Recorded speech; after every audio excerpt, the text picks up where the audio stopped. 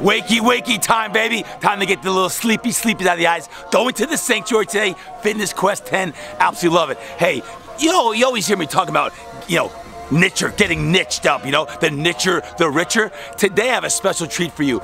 We're talking to NFL long snapper Luke Rhodes. I'm about to train him. I'm gonna I'm gonna pin him down for an interview to talk about what it's like to make a living. Only 32 jobs in the NFL snapping a football. And this guy is a workout beast. You talk about beast in the weight room, woohoo! Luke Rhodes is that guy. All right, guys, I got the man, the myth, the legend in the house. Luke Rhodes is here.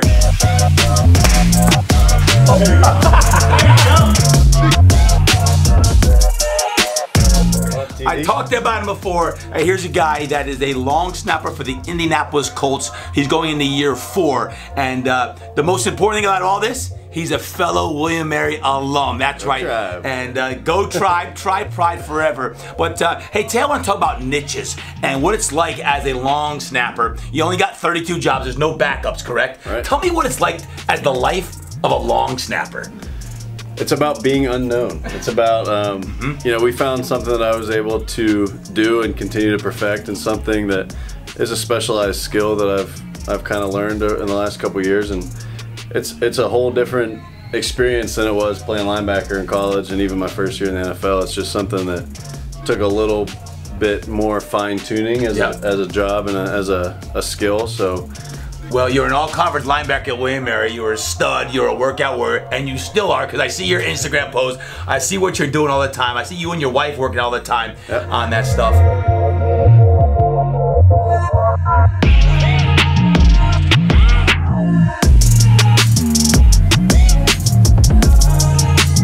I'm assuming as a long snapper in the NFL, 32 jobs, you thought a niche. You've probably been snapping since Pop Warner. Nope, nope. I snapped. Uh, I snapped my junior year of high school a little bit. Yeah. And then hadn't touched the ball really to snap until two years ago. Wait, you just picked it up and just started snapping? I always knew I could do it, and so I showed our special teams coach that I could do it. Um, our special teams coach Tom McMahon two years ago. Okay. And he would have me do it a little bit after practice or before practice, and then he told me to uh, practice it the one off season, two two off seasons ago, and so I did, and kind of competed for the job in training camp that year.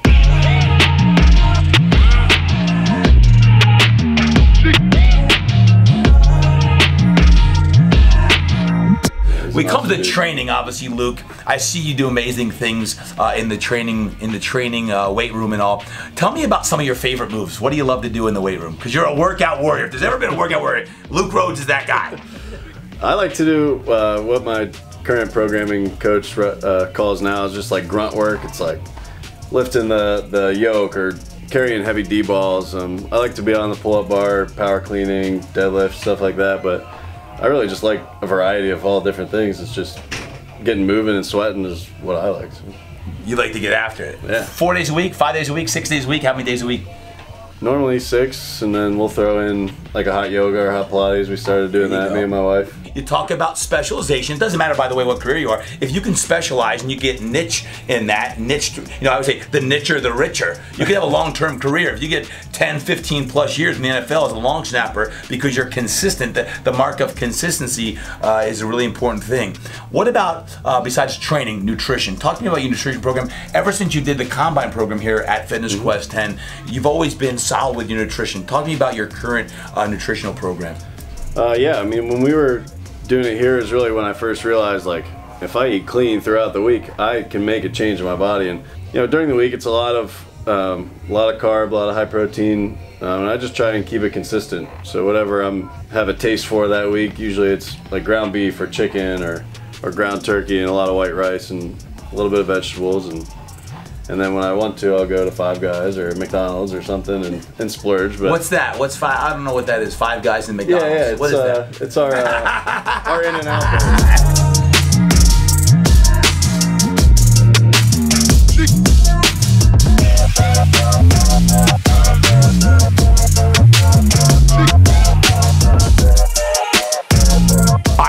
cool things about Luke and what he does is when he's training hard, a lot of times he has someone, he likes to up his game a little bit, so he brings in people that are way fitter than him, way tougher, way stronger, and that's a hard task to do. So right now I'm gonna introduce his better half, Miss Hannah Rhodes right here. Hannah, Hannah, you guys often train together, right? What's it like training with uh, with Luke? Can he keep up with you? It's all about bragging rights, huh? Oh, No doubt. I- I'm always I'm always intrigued though by like couples that train together. What do you love about training together? Because you guys do it several times a week. I know.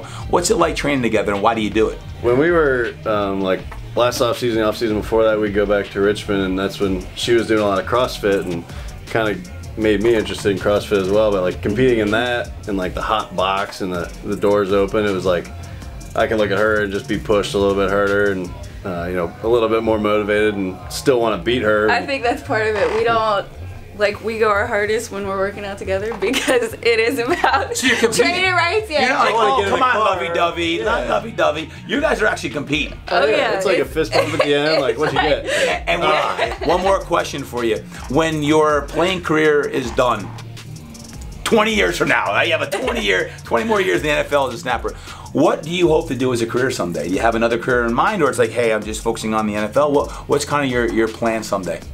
Yeah, I mean, if Fitness Quest 10 isn't for sale in 20 years, we'll probably have to. Uh, we'll probably have to find somewhere else to uh, build our own gym, which we've talked about and Love wanted it. to do. And we've even looked into some different ideas now, but Yeah. we just haven't found the right thing. So So fitness is your passion. fitness is a passion, and it's something that you know I study in school in kinesiology, and you know she's got an eye for it too. So it's What do you do to get your mind right? Even if it's game day, if it's training day, what do you do to consistently keep your your mindset in a place of you're operating as the highest performer in sport? Hmm? You're you're an NFL player. There's only 32 spots. What do you do to keep your mind right?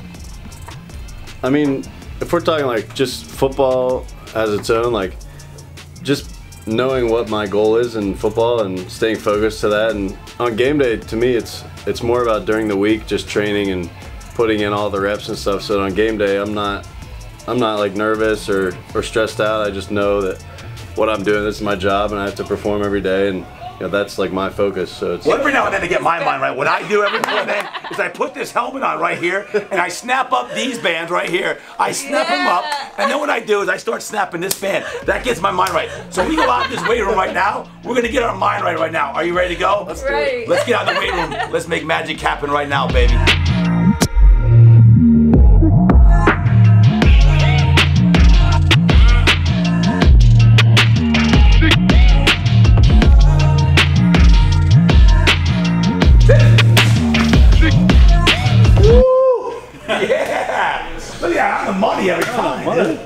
money every time is where it's all about.